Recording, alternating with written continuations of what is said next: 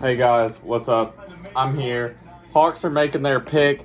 Sharife Cooper's still here at number 48, and it's looking like we might get him. I wanted him at 20. He fell to 48. Travis, we trust. I think he's a huge backup point guard for us and can be amazing.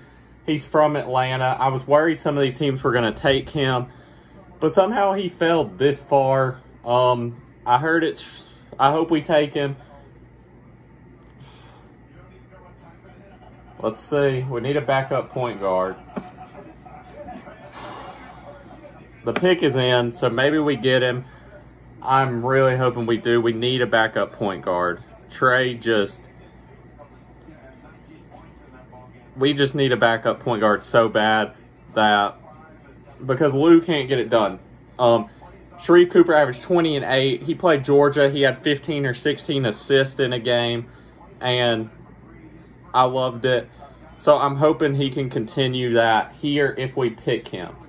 But he showed great signs in college of being a facilitator, leading a second unit. Let's go.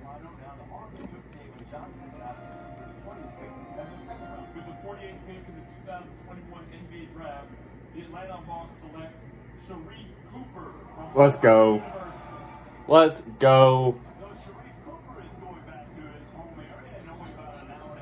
I wanted him so bad at 20. That's who I really wanted. And he fell to us at 48. No, my camera's kind of whack. So I'm hyped because he's a second Trae Young type passing player, I feel like. Um, 20 and 8 last year's what he averaged at Auburn in 12 games. I saw him get 15, 16 assists against Georgia. I loved it. I'm super excited about this. I didn't think he would fall this far, but we got two good players because we got a great guy in Jalen Johnson who can fill John's spot. Now we got a great backup point guard. I don't think you bring back a Lou play, a Lou type player. Him and Trae Young, this says, are the only two freshmen in the last 25 years to average 20 and 8, which is awesome. I'm surprised he stayed this long. Very happy, very happy.